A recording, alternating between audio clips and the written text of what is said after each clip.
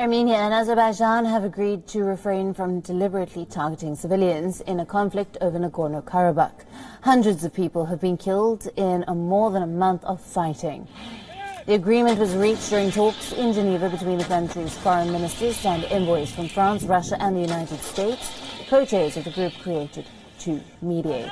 And the co-chairs of the OSCE group said in a statement that Armenia and Azerbaijan had also agreed to exchange the bodies of fighters and to provide within a week lists of detained prisoners of war with the aim of an eventual exchange.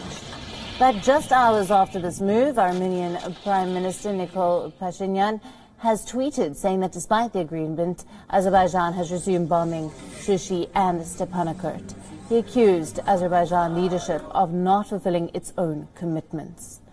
Three ceasefires have failed to halt the latest fighting. The first ceasefire was declared on the 10th of October, brokered by Russia.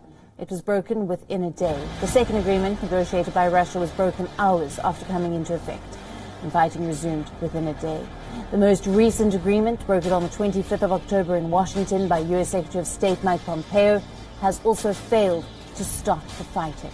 Hundreds of people have been killed since the worst fighting in decades erupted between the countries.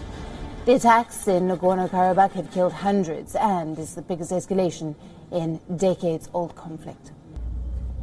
Nagorno-Karabakh is internationally recognized as a part of Azerbaijan, but is populated and controlled by ethnic Armenian forces, backed by the Armenian government since 1994.